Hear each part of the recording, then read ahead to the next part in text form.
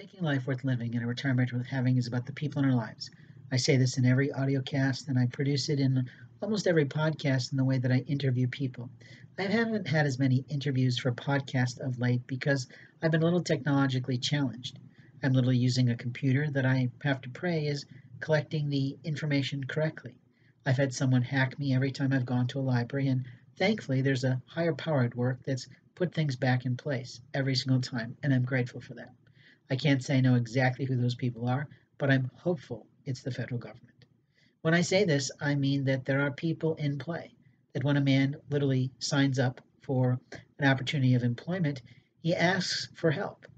But sometimes people interfere with him getting his mail. Sometimes they interfere with him getting his email. Sometimes they interfere with him getting his phone messages, which might mean that I never got told that I was in play and now I am. But I've been in play with the help of God.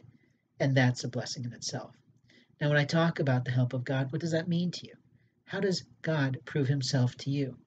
Do you get patterns of names? Do you get notices of information that seems aligned with your goals? Do you have opportunities in life that make all the difference in the world, or are you being thwarted at every turn? You see, in life, we have moments of time to make a powerful statement in the world that says, you know what? This person rights matter to me because I want my rights to matter to them. You see, being for the people is really about knowing what's important to people. And if we really look at the daily aspects of our lives, the most important place we spend most of our time is in our business or in the business in which we're employed. We are literally there for 40 plus hours a week sometimes, or less if we're a part time worker and then we've got other responsibilities of adulthood going on for ourselves. But when we talk about that volume of time out of our normal day, that literally 40 hours of our week are involved in something, we hope that we've done enough college, uh, excuse me, collegiate study or um, which means, sorry, um, training school is an informal way to say that in Japanese, uh, study, if you will, or junior college, I guess would be another way to call it, uh, for those of us in America, that literally prepares us for a career. We have this way of education in America that's not exactly perfect. It literally says that all of our children have to get the exact same education, and sometimes those educational pieces are not right because of a couple reasons. One, they're placed in the wrong classroom with the wrong group of kids. Two, they're placed in front of the wrong educator who doesn't really get the child's soul or doesn't really tolerate them that much. It's true that people who are teachers of children must love children to a degree, because otherwise you couldn't always put up with the youthfulness, the creativity, the craziness, the zaniness, the constant energy bursts that kids have naturally that we know about from the literally hundreds of years that scientists and lay people and psychiatrists and psychologists have been studying children. But openly, there's all sorts of fields of study that are not being handled in our everyday education, at least here in Indiana. And that's why it's so important for us to have people in our lives who come from other states. When I go places in the world, I literally get an inkling of what sort of clothing I need. And I have that proven to me all the time. When I was traveling in my car, some of my magical experiences is when I go shopping. If I'm told it's time to go to a store, I simply go. Now, what does that mean? I'm told. Well, for most people like me of a person of faith, we get this inkling in our being that says, I'd like to go shopping. Or, would you like to go shopping? Or, whatever the phrase it is, time to go to this store. Right? We have an errand list that we go on if we have legitimate errand needs. Some people just take errands to get out of the house, to have some stress relief, to just be doing something in the world because we've sort of lost our social clubs where people could just go hang out, buy a Coke or not buy a Coke, and just be present, and everybody was okay with them being there without a problem, without an incident, without the fact that, hey, they didn't buy something today, so therefore they're not a customer. No. People shop for life at places. Let's face it, most all of us in America shop at Walmart, Target, Meijer, Kroger, whatever, you name it, Whole Foods, on a regular basis. We may not go there every single day, but they are places of our regular haunts. They're errands that we typically go to. We also go to places every month, probably for oil changes. We go places regularly for dinner. In my realm of my family, we always went to the same restaurant because why? First of all, we liked the food. Second of all, we liked the couple who owned the place. And third, we wanted them to get our discretionary income. Of all the places in the community, that's where we chose to put our money. It wasn't that we didn't like national change, it's just that we needed a certain type of food for our family. And they made that food beautifully. The prices were very fair and reasonable, never too high, to the point that we felt it wasn't fair and reasonable. The volume was great. We could take leftovers home if we needed to. But openly, we generally had a relationship with them. Even the point when they were early in the community, when their kids were very small, we took them to teach them about garage sales. They didn't know about those. So we just said, okay, let's go. We'll show you what this works, how this works. And she just bought furnishings because things weren't provided quite like that in her home country, who owned that shop, who participated with her family in having a chain of sorts, of restaurants of sorts, not under the same name. So when we're talking about immigrants to the community, we're talking about how they got here. Did they get here lawfully? Do they have a purpose truly of being here in terms of their family? Are we splitting families apart in this new immigration process? Are we penalizing some immigrants and then not reprimanding reprimanding others who've been here literally hundred, you know, hundreds of years? I'm, I'm of course expounding, but, but you know, twenty some years without ever documenting themselves correctly. But their family has been born here, so therefore maybe they have a legitimate right to stay. But there should be some penalty that they have to pay, a fine, some sort of division because sometimes they tell people that information and that makes other people uncomfortable. We don't want to know what they've done in their past or why they're here. We don't want to be required to be protectors of that. Now, when I talk about that, I'm talking about that in terms of three areas what is legal, what is moral, and what is possibly ethical.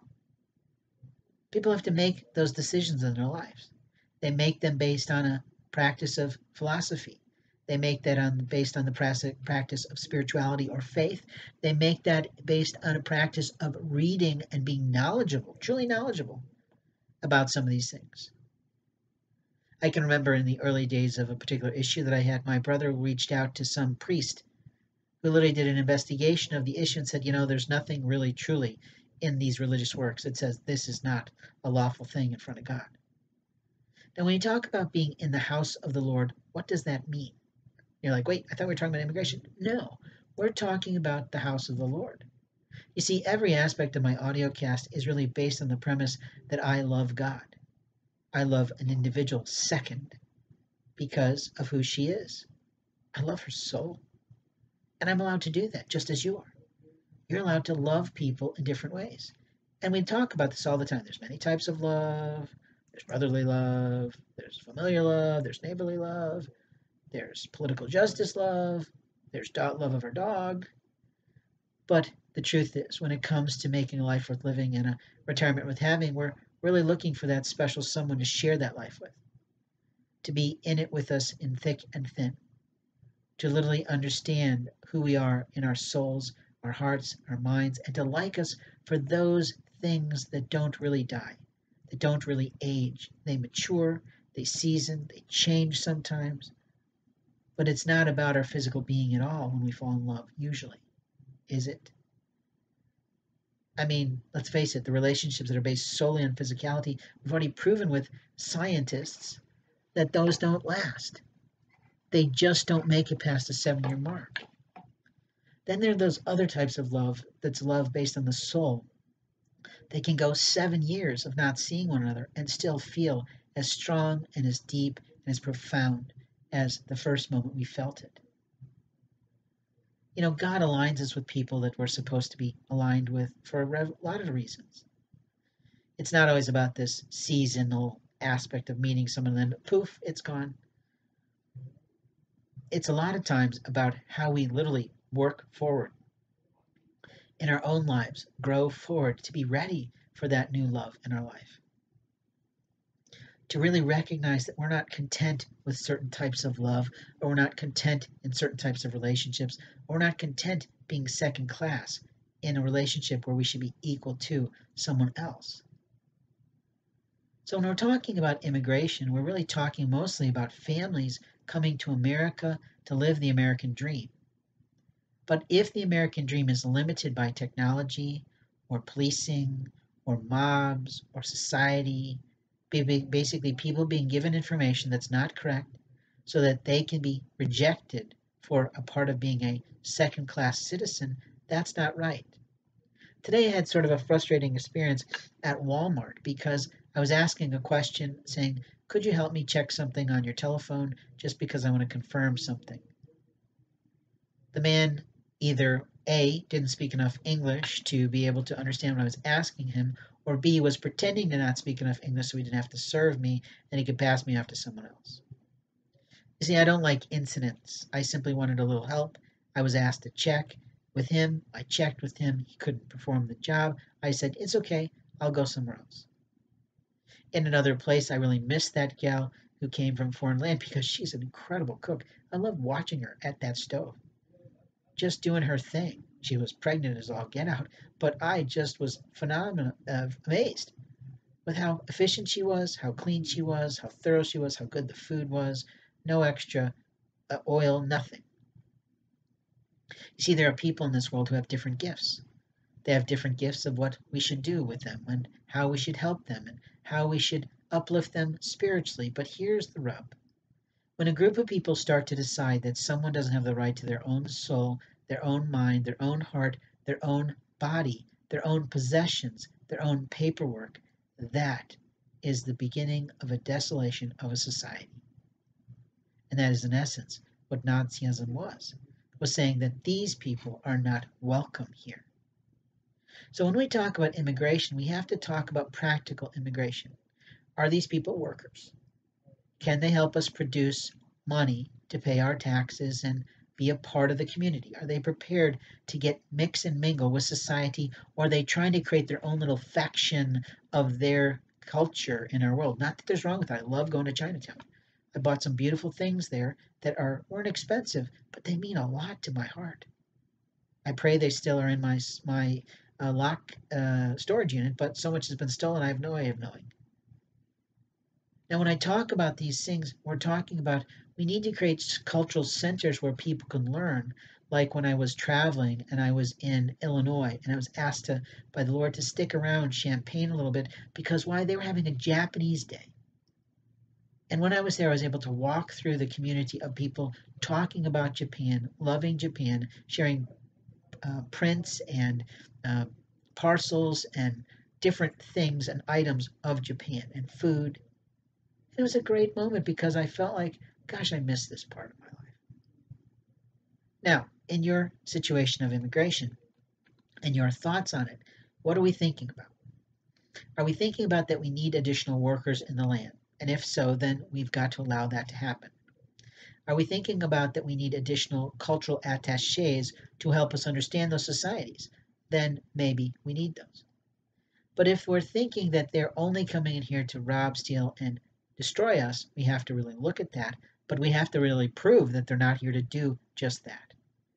So, how do we do that? Well, we had a program, a, pl- a process where people were evaluated, evaluated as to whether or not they were lawful enough in their own land to be welcomed into America through whatever program they could muster to get here. And then, if they could work out the details of staying later, after those educational programs or whatever, then fine. But in some cases, they can't. In some cases, there's no job, but in other cases, there are laws preventing something which is a logical leap. So I guess when it comes to immigration laws today, we have to really look at is this person employable in an industry that needs a worker, in a company that wants that worker, and is willing to pay for that worker to have true employment and pay taxes. And that's all that really should be.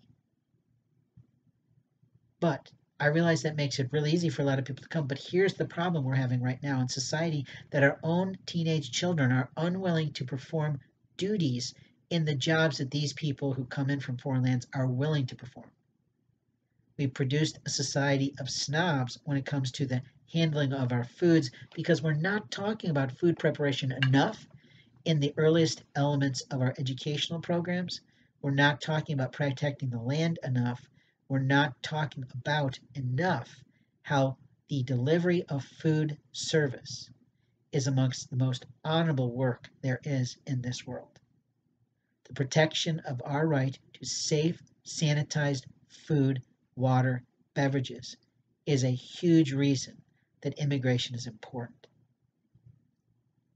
There are people here who love that work or just realize they can do that work without too much linguistic barrier. And they can remain here and help us to feed ourselves, to clothe ourselves, for those who work in the textiles industries, to manufacture our automobiles. But then there is a facet, a group of people that perhaps come from more affluent aspect of those societies that really should stay home in their home countries to keep their own societies going and moral. They're here to play. They're here to make fun of us. They're here to taint our food. They're here to steal our land. They're here to, uh, what is it, take over our houses when we go on vacation. They call that squatting, I think. And there are squatters' rights in some states. And I'm like, are you kidding me?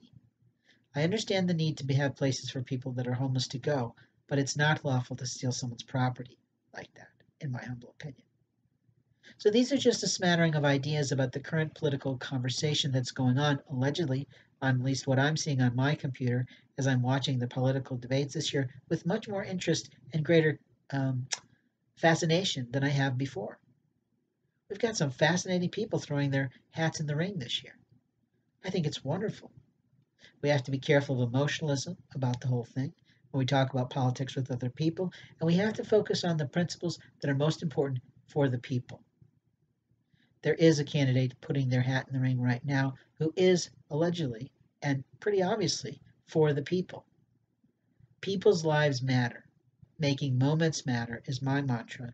And when I talk about these things, I hope you consider in your life what makes sense for you may not make sense for someone else.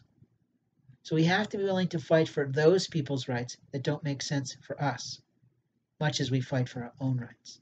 That's what America is founded on the right to freedom of the soul, freedom of our lives, freedom from protection of harm to our bodies, and freedom reigns in this land.